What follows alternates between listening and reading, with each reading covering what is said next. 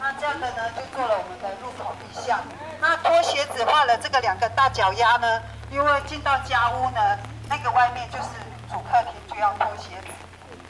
好，来再来看一下这个沙宝，刚刚一直讲说沙宝就是我们的欢迎，您好啊，哦，用罗马拼音去拼的哈，叫沙宝。